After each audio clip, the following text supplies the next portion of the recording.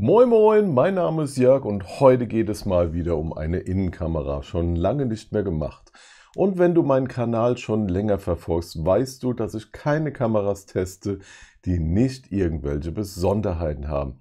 Und die, die hat auf jeden Fall Besonderheiten. Angefangen, wenn du hier siehst, da ist ein Peer-Sensor tatsächlich noch verbaut, bis zu natürlich OnVis, RTSP, aber auch AI an Bord. Das hätte mich alles nicht so interessiert, aber es gibt noch viel, viel mehr, nämlich MQTT, Push-Nachrichten über einen Alarmserver und vieles, vieles mehr. Also sei gespannt auf den Test. Ich freue mich immer über ein Abo und die Glocke nicht vergessen. Und am Ende des Videos ein Däumchen. Schön, dass du da bist. Vorab zur Transparenz. Diese Kamera habe ich mir von Insta gewünscht, habe mir diese also zuschicken lassen, kommt selten genug vor. Und jetzt zur Kamera selbst. Ja, 2K plus Auflösung habe ich ja bereits erwähnt, genauso wie 90 Grad Blickwinkel. Montieren kannst du diese Kamera natürlich auch an der Decke, das ist gar kein Problem. Du hast auch die Möglichkeit hier das Ganze zu montieren. Dann hat es natürlich die üblichen Spielchen, das heißt hier SD-Karte, hast natürlich hier Lautsprecher äh, verbaut, hast hier ein Reset-Taster, musst also gar nicht rumhantieren, finde ich eigentlich auch ganz schön. Ja, Peer-Sensor habe ich schon erwähnt, der natürlich wirklich Vorteile bietet, kommen wir gleich äh, drauf zu sprechen und auch eine Nachtschaltung, wenn eben dieser Peer-Sensor entsprechend Bewegung detektiert. Ja, die anderen Sachen hatte ich ja auch bereits angesprochen. Das heißt, äh, neben natürlich den üblichen Quasselbüchsen, das heißt, du hast Amazons Alexa, du hast Google an Bord, du hast HomeKit, äh, die Möglichkeit, das zu inkludieren und hast natürlich dann auch noch zusätzlich MQTT und hast einen Push-Server und noch so einiges mehr. Das heißt, du hast gar kein Problem, das Ganze eben auch in deine Smart Home Automatisierung einzubinden oder auch Dinge wie die Synology oder auch andere NAS-Systeme. Gar kein Problem, denn du hast hier RTSP-Stream und OnVIF mit an Bord. Wie war das Ganze jetzt mit der Installation? Und hier gibt es schon eine erste kleine Besonderheit.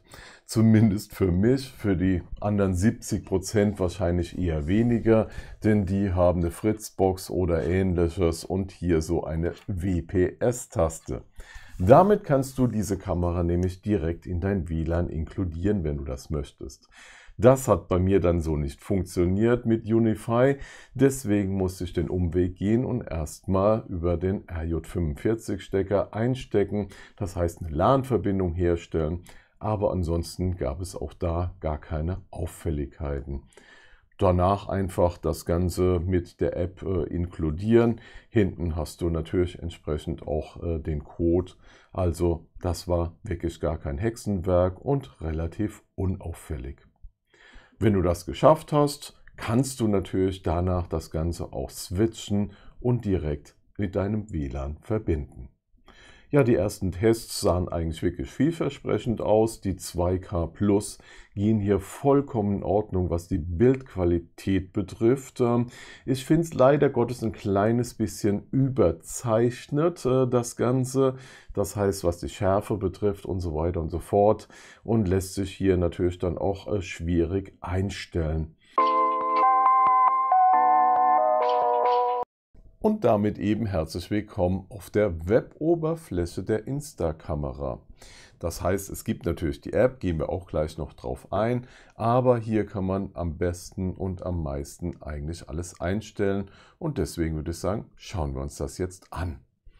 Gehen wir hierzu natürlich auf die Einstellung oben links, klicken da drauf und sehen hier zum ersten natürlich das Netzwerk. Live-Video machen wir hier jetzt mal aus. Das nervt natürlich ein bisschen. IP-Konfiguration, ja, IP-Adresse. Ich habe hier keine manuelle IP zugewiesen, das heißt die HCP ähm, und hier HDP, HDPS-Port, also alles, wie sich das gehört. Aber das ist jetzt nicht alles selbstverständlich. Du kannst hier natürlich ein äh, TLS-Zertifikat entsprechend uploaden und auch die äh, CA-Zertifikate, das heißt zur Überprüfung, äh, können hier eben dann hochgeladen werden. Das ist etwas, das findet sich zum Beispiel nicht bei jeder Kamera. Ja, und als Security-Muckel finde ich das natürlich schon mal wirklich schön. Hier hast du die WLAN-Konfiguration, die du machen kannst. Und dann geht es natürlich auch schon los mit Fernzugriff. Kann man auch hier einen dünnen DNS-Server benutzen und auch hier eine Auswahl treffen. Das heißt, du hast DAC DNS ähm, an Bord, dünn DNS und No IP. Das heißt so, das eigentlich übliche ist mit an Bord. Ja, on-with natürlich und äh, das Ganze musst du hier aktivieren. Äh, siehst die Ports entsprechend und natürlich auch den RTSP-Stream kannst du auch dann zulassen oder eben bleiben lassen. Für mich natürlich beides angeschaltet zum Testen. So, kommen wir mal zu den Multimedia-Features. Das heißt, du kannst Audio natürlich auch einstellen, kannst sagen, ob oder ob nicht und äh, Lautsprecher, ja, nein. Video, da wird es natürlich schon ein bisschen interessanter. Das heißt, ja, die Wiederholungsrate, die Kompression ist hier auf niedrig eingestellt. Die Bitrate hier auf das höchste im Moment habe ich eingestellt und ob die eben variabel sein soll. Auch das sind eigentlich so die Standard-Dinge, die man so kennt. Auch die Keyframes und hier ja, WebUI, HTML5, Videomodus 264, 265. Das ist ja auch wichtig, ähm, ja, zum Beispiel für die Quasselbüchsen, ob du ein Echo Show zum Beispiel nutzt. Und die Videoauflösung hatten wir ja schon gesagt, 1440p mit 265. Wird später auch noch interessant ähm, bei der Synology NAS zum Beispiel, glaube ich. So, dann Build Overlays. Natürlich haben wir das Insta oben hier. Auch das kannst du entsprechend ändern, klar. Und ja, Privatsphäre-Modus. So, da kommen wir eigentlich zur ersten Besonderheit der Kamera, denn ja, die lässt sich in vier Bereiche unterteilen und kann natürlich hier bei der Privatsphäre das Ganze auch hier dann ja, entsprechend aktivieren, die Bereiche, und äh, kann die natürlich dann auch ziehen. So, kann also für den Einser hier das entsprechend machen und so weiter und so fort. Und das Ganze eben bis zu viermal. Wir kommen auch gleich noch auf diese vier Bereiche zu sprechen, denn auch das ist wirklich eine Besonderheit der Kamera. Ja, Reset-Taste unten natürlich. Wir brechen das mal ab. Was natürlich ein bisschen schade ist, ähm, ja, Du siehst es, Privatsphäre-Modus ja. Kannst du natürlich auch mit deinem Smart Home, denke ich mal, einschalten. Aber was du natürlich nicht bei der Kamera hast, ist das Ganze hardware-technisch verbaut. Gut. Oder zumindest mal, wenn der Privatsphäre-Modus an ist, das Ganze dann ja irgendwie visuell dargestellt. Das muss natürlich dann jeder selber wissen, aber vor allen Dingen für eine Innenkamera ist das natürlich etwas, was der eine oder andere gerne hätte. Die Standard-Features E-Mail und FTP kannst du natürlich machen.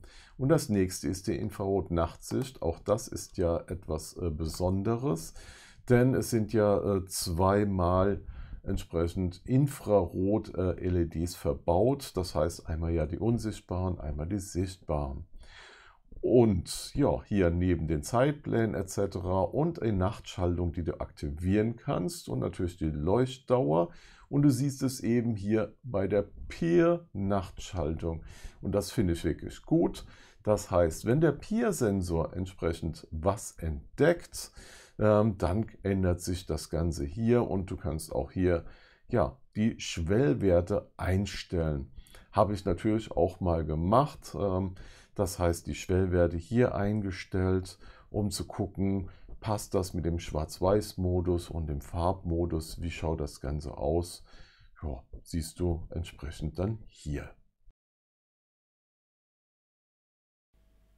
Ja, es ist jetzt immer noch relativ dunkel hier und dann kann man die äh, Schwellwerte einstellen und ja, nachdem wir eingestellt haben, siehst du jetzt hier eben den farbigen Nachtmodus. So, dann stellen wir jetzt halt hier das Ganze auch nochmal ein. und schalten jetzt dann auch an. Und du siehst, jawohl, da sind wir. Zack, wieder umgeschaltet. Also funktioniert soweit wirklich ganz gut. Schöne Sache das.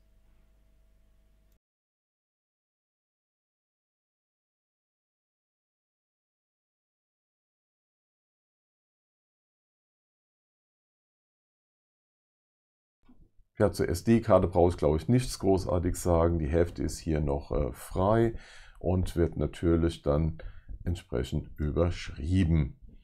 So, das war das dazu. Status-LEDs, die beiden lassen sich dann auch ein- und ausschalten. Ja, vor allen Dingen das äh, Blinken der roten äh, LED machen wir jetzt mal aus hier. So gespeichert und schon ist die rote LED aus. Alarmmöglichkeiten. Einmal Aktion, einmal Alarm aktivieren, Objekterkennung aktivieren, hatten wir ja schon, das heißt AI-Fähigkeiten, das heißt, das Gerät kann erkennen, ob eine Person eben da ist, ein Fahrzeug, gut, bei einer Innenkamera meist nicht so wichtig, oder Tiere. Kann ich leider nicht mehr prüfen, ja, unsere Katzen sind ja leider nicht mehr da. Aber Person habe ich natürlich gemacht, habe das auch getestet und da kommen wir eben zu der ersten wichtigen Sache hatte ja gerade den Peer-Sensor schon entsprechend hier äh, erwähnt gehabt und habe den auch hier aktiviert. Und das ist wirklich super und habe es auch getestet. Das heißt, ja, Peer-Sensor. Der Peer-Sensor eben mit zusätzlich äh, der Kamera, das ist eben wirklich eine super Besonderheit. Denn ja, es wird einmal natürlich erkannt, äh, die Wärmeentwicklung der Person. Das kann der Peer-Sensor entdecken und damit natürlich auch Fehlerkennung wesentlich deutlicher ausschließen. Und das ist etwas, was natürlich nicht jede Kamera hat. Das heißt, du hast eine Personenerkennung, äh, die eben durch den Peer auch noch unterstützt wird habe das ja auch getestet, indem ich wirklich in vielen verschiedenen Situationen irgendwas anderes äh, dahin gehalten hatte und einfach geguckt habe, ob äh, und was entsprechend auslöst. Und muss sagen, es hat auch wirklich super soweit funktioniert. Einzig und allein, wenn du wirklich auf 100% Sensibilität eingestellt hattest, dann hat er bei den Übergängen schwarz-weiß auf äh, Tag und so weiter äh, etc. dann ab und an mal ein paar Fehlerkennungen gemacht, aber das war wahrscheinlich wirklich softwaretechnisch. Einfach ein kleines bisschen runterstellen und die Welt war wieder vollkommen in Ordnung. Ja, du siehst es, hier sind auch diese gekoppelten Bereiche, das heißt vier Bereiche, die möglich sind, zeige ich dir auch gleich nochmal. Und diese Bereiche haben auch eine Besonderheit dann, was Smart Home betrifft, denn die kannst du dann übergeben. Ja, ein Audioalarm kann man natürlich auch äh, entsprechend aktivieren. Ist eigentlich laut genug das Ganze. So, hier ist der besprochene Alarmbereich mit den äh, vier Bereichen, die eben rot, blau, grün, gelb sind. Die kannst du jeweils aktivieren, deaktivieren und die Sensibilität einstellen. Das ist eine schöne Sache und das zusammen kann dann, wie gesagt, auch im Smart Home übermittelt werden. Zeitpläne brauche ich, glaube ich, nicht großartig darauf eingehen. Kannst du erstellen. Und ein Push äh, kannst du auch machen. Das heißt eine Benachrichtigung direkt eben auf das Smartphone, das Tablet etc. Und ein Ruheintervall. Hier kannst du einstellen, ja, wie lange soll es dauern, bis er eben dann wieder aktiviert. Aufgaben. Eine Fotoserie kannst du erstellen lassen, SD, E-Mail oder FTP-Server. Kannst das natürlich auch für die Videoaufnahme erstellen. Du siehst, wirklich umfangreich das Ganze. Ja, beim System brauche ich nicht großartig auf eingehen. Das heißt, du hast eine Benutzerführung, das Konto. Ähm, da kannst du natürlich auch äh, eine Cloud-Funktionalität äh, entsprechend machen. Hast eine Web-UI und kannst hier zum Beispiel sogar einen Dark Mode machen. Also wirklich viele Möglichkeiten, die das Ganze hat. Hier ein System, Logbuch, Update, Backup und Restore, Werksreset etc. Cloud hatten wir es ja gerade schon von. Also eine Cloud existiert, Speicherpläne ab 250. Ähm, da musst du allerdings äh, das Jahresteil abschließen. Cloud ist deswegen wichtig, natürlich für Echo-Shows, äh, Googles äh, Geräte und so weiter. Und das ist dann die Basis-Cloud, ähm, die du da bekommst und die bleibt dir auf jeden Fall auch. Wenn du aber in die Cloud speichern möchtest, dann musst du natürlich auch einen anderen abschließen, also nicht den Basis, wie du hier dann siehst. Und es ist wohl auch so, dass nochmal Erfassungen plus äh, da sind. Das heißt, es wird wohl da auch nochmal so einiges an AI-Features äh, dann ja, äh, innerhalb der Cloud geben. Das Ganze habe ich jetzt hier nicht getestet.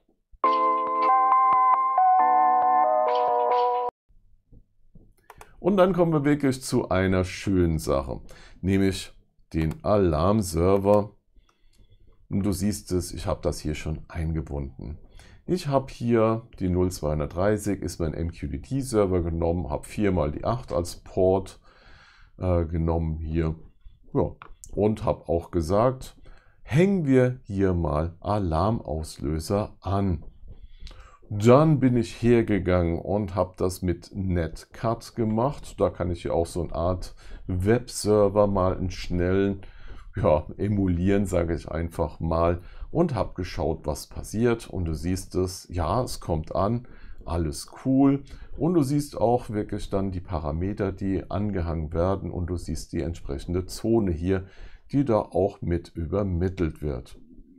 Also, alles im Allen ist das schon mal eine schöne Möglichkeit, wenn du eben nichts anderes äh, hast oder schnell was äh, einrichten möchtest. Damit kann man doch schon mal so einiges anfangen. Aber das ist natürlich nicht alles, denn natürlich hast du die Möglichkeit, Alexa zu machen, Google HomeKit zu machen und natürlich sogar If This Then That. Was mich durchaus sogar wundert, äh, muss man ja den Hut vorziehen, denn If This Then That kostet mittlerweile eine Firma richtig Geld und dass das doch trotzdem möglich ist, ist doch schon mal schön. MQTT ist auch möglich, das schauen wir uns hier mal ganz, ganz kurz erstmal ja, in mein Mosquito an. Ähm, da musst du auch wirklich ein bisschen aufpassen. Wenn du MQTT nutzt, schon mal hier das große Ausrufezeichen. Denn hier gibt es eine Kleinkonfiguration, und ich hänge dir ja alle, ja, ich sag mal, äh, Dinge an Dokumentation an und ich glaube, da war es anders beschrieben und habe ja das Ganze hier geändert. Last Will Testament of Connection und Online, Offline hier.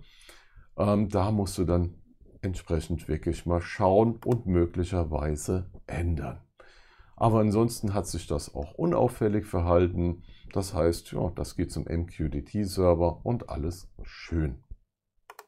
Ja, und dann würde ich sagen, schauen wir uns das auch noch etwas genauer an, was eben die Inkludierung in ein Smart Home System betrifft. Ich nehme dafür natürlich Home Assistant her und habe natürlich auch erst die OnWith-Sache versucht gehabt und die hatte nicht geklappt. Warum auch immer, da gehe ich allerdings wirklich davon aus, dass die neue OnWith-Implementierung in Home Assistant im Moment noch nicht drin ist, denn bei Synology hat das nun wieder ohne Probleme funktioniert, also alles gut soweit. Aber du kannst das äh, mit Genericam dann auch ohne Probleme einbinden, hat auch geklappt, steht in der Dokumentation, die wirklich, wirklich sehr, sehr umfangreich ist, wie das halt ab und an mit einer Dokumentation ist. Das ein oder andere mag dann irgendwo natürlich auch mal veraltet sein. Ja, aber du siehst es, soweit hat alles geklappt. Wir haben den Stream, also da können wir schon mal einen Haken vorsetzen. Und ansonsten haben wir das Ganze ja schon in mein Mosquito drinne, das heißt die MQTT-Nachrichten, Broker etc. So, aber wie ist es denn jetzt? ja, als sage ich mal Advanced User von Home Assistant IO Broker, was auch immer, ist es natürlich so, dass du sagst, ja, das ist doch gar kein Problem. Ähm, dann gehe ich entsprechend hier und äh, stelle mir das Ganze dann ein. Auch hier gibt es noch eine Hilfestellung. Ähm, das heißt ein Python-Skript, ähm, was geschrieben wurde von der Firma Insta, was du für nutzen kannst und dir natürlich entsprechend ja, das Ganze dann soweit schon mal vorkonfiguriert, also hier ein Däumchen. Aber ich würde mir hier wirklich trotzdem wünschen, für die User, die natürlich eben noch nicht so gewieft sind, denn es ist natürlich schon einiges zu tun, um auch so ein Python-Skript dann entsprechend auszuführen. Auch wenn die Dokumentation dafür wirklich gut ist könnte man doch trotzdem hergehen, das Ganze in Home Assistant Community Store zum Beispiel mit reintun. Muss man ja gar nicht viel mehr tun. Und ähnlich wie es das auch für Shellys äh, äh gibt oder gab, nee, gibt glaube ich noch, ähm, die MQTT-Dinge dort eben reinpacken. Autosuche und so weiter und so fort und das Ganze dort schon vorkonfigurieren, so dass man eigentlich sonst eben nichts weiter tun muss.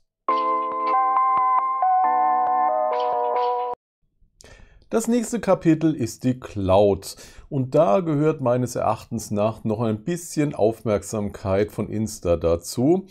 Die App an sich ist wirklich gut, ist funktionabel, passt soweit alles, ähm, kann man eigentlich nicht klagen, sind alle Funktionalitäten vorhanden, die du siehst, äh, die man entsprechend braucht. Das heißt, zwei Wege, Audio etc. ist natürlich alles äh, soweit vorhanden.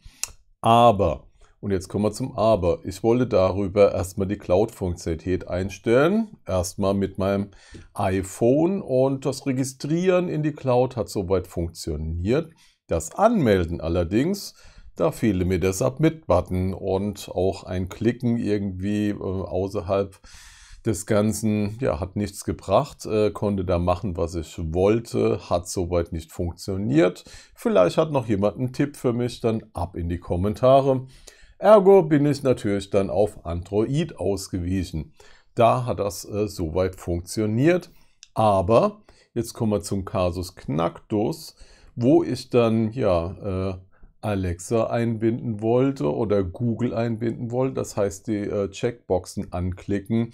Da hat er mich dann vollgemotzt mit der ID, äh, die ich noch bräuchte, aber die wird doch automatisch vergeben. Oder denn ich konnte danach in die Web-Oberfläche gehen und konnte das ohne Probleme entsprechend aktivieren. Also da habe ich ein paar Fragezeichen. Das funktioniert noch nicht so richtig. Zum Glück, nachdem ich mich in der App angemeldet hatte, hat er zumindest äh, die Sachen übertragen. Ähm, das heißt, im Cloud-Zugang mit der Web-Oberfläche konnte ich da entsprechend alles machen.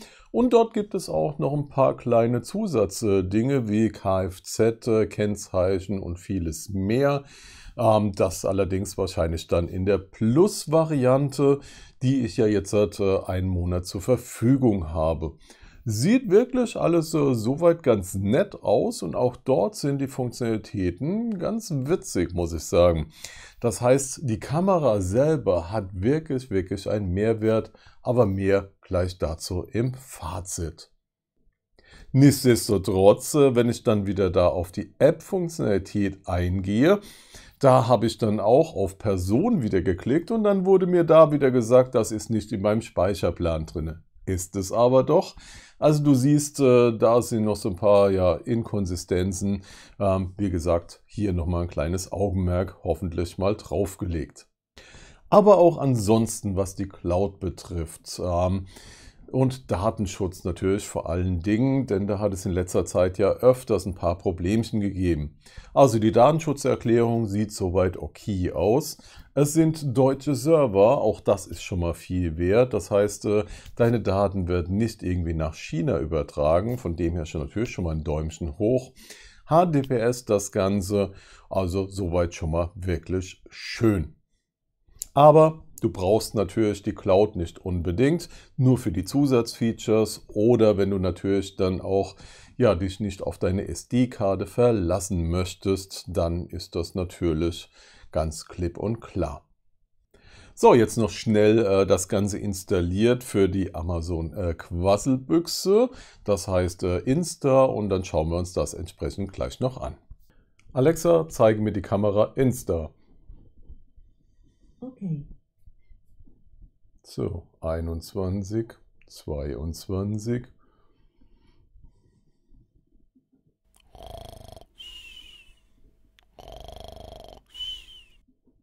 Dauert. Aber das liegt auch an dem Echo Show 5, der ist ja sowieso schon überfordert. So, und da bin ich.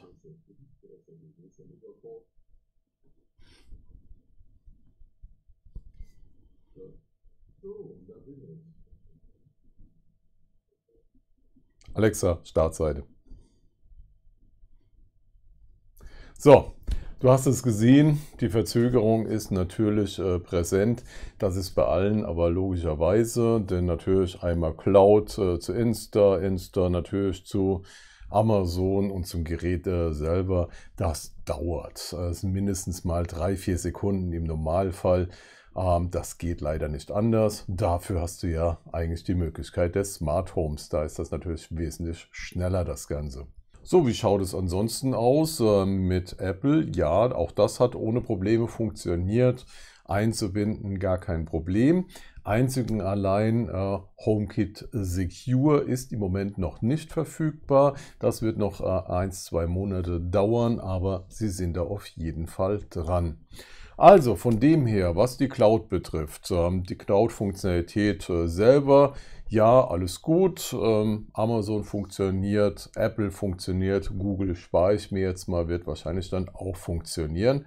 Soweit ganz schön. Wie gesagt, äh, das Ganze zwischen App und dem Webzugang äh, Cloud, da sind noch so ein paar kleine Problemchen, die sollte man vielleicht noch in den Griff kriegen. So, du siehst schon, ich könnte noch stundenlang erzählen über diese Kamera, aber das Video wird jetzt sowieso schon eine halbe Stunde, also jetzt das Fazit dazu. Du hast es gesehen, es ist eine besondere Kamera, denn du hast ja auf jeden Fall hier noch den Peer-Sensor. Das heißt, habe ich dir ja gesagt gehabt, schöne Sache, Du kannst damit auf jeden Fall äh, Menschen erkennen, indem du halt noch äh, die Wärmeabstrahlung entsprechend detektieren kannst. Außerdem cool, natürlich, wenn du weiter weg bist, hast du die vier Zonen und bekommst diese vier Zonen auch gemeldet in dein Smart Home, wenn du möchtest. Dazu hast du natürlich ähm, OnVIF Standard und hast äh, ja RTSP Stream, also auch das Check. Cloud-Funktionalität hast du auch, funktioniert auch wunderbar, bis auf natürlich die paar kleinen Problemchen zwischen der App und der Cloud, wenn ich irgendwas ändern wollte. Das war ein bisschen merkwürdig, okay lassen wir jetzt mal dahingestellt. Dass die Cloud noch ein paar nette Zusatzfeatures hat, auch soweit check. Schön. Funktioniert. Was Smart Home betrifft, könnte ich natürlich wirklich noch Stunden erzählen und vor allen Dingen natürlich dir sagen, wie das wirklich richtig eingebunden wird. Das wollte ich jetzt heute nicht auch noch machen, sonst wäre das Video wirklich explodiert. Möchtest du mehr dazu wissen und ein zweites Video, wie man das in Home Assistant integriert, schreibe es mir sehr gerne unten in die Kommentare. In IO Broker, weiß ich nicht, ob Stand heute noch das so ist, ähm, gibt es vielleicht noch ein kleines äh, Problemchen, ähm, was dann auch MQDT betrifft, aber sie waren dran, da nachzuschauen. Also solltest du in IO Broker da mit der Kamera ein kleines Problem haben, lass es mich mal sehr gerne unten wissen. Das ist bestimmt auch für Insta selber interessant. Ja, und für wen ist jetzt diese Kamera? Wenn du siehst, dass sie eben weitaus mehr als 100 Euro kostet, es gibt auch schon Kameras, die 30 äh, Euro kosten, RTSP streamen können. Ja, aber dann war es das auch. Hier hast du halt die Zusatzfeatures.